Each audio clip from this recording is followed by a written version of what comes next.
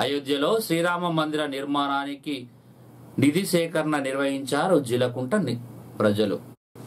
అయోధ్యలో రామ మందిర నిర్మాణ నిధి సేకరణకు పెద్దపల్లి జిల్లా ఓదెల మండలంలోని జిలకుంట గ్రామంలో శ్రీరామ మందిర తీర్థ క్షేత్ర ట్రస్ట్ ఆధ్వర్యంలో గ్రామంలోని ఆంజనేయ స్వామి ఆలయం వద్ద పూజలు నిర్వహించి అయోధ్య రామ మందిరం ఆలయ నిర్మాణ కరపత్రాన్ని విడుదల చేశారు.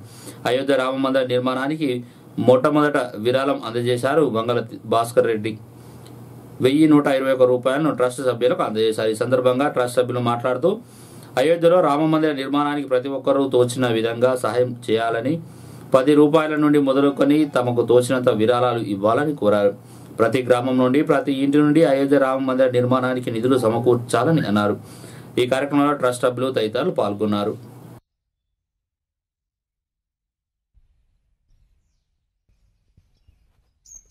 నాలుగు వందల తొంభై నాలుగు సంవత్సరాల ఏదైతే కళ ఉందో అయోధ్యలో రామమందిరం నిర్మించాలని కళ సుప్రీంకోర్టు తీర్పు ద్వారా మనం సాధించుకోవడం జరిగింది.